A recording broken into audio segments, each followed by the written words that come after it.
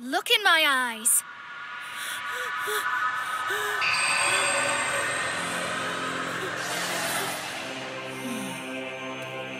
Where did you get this potion? A man clad in black armor gave it to me at one of the inns in E. Rantel. Could she have been given orders by the Supreme One? No. He was probably making connections. What were you and your party doing out here? It was for a job. We were hired to find a group of soldiers turned mercenaries.